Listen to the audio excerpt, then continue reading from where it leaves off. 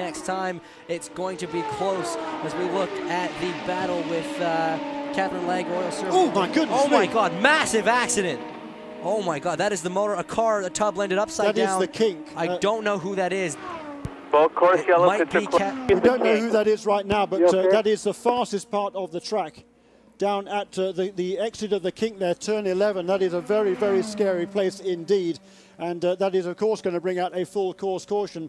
And uh, we've all got our fingers crossed here. That is a very, very scary place to go off the road. AJ Katherine? still leads. Katherine, you got a copy? Katherine, have you got a copy? So it is Katherine Legge who has had that crash down there at turn 11.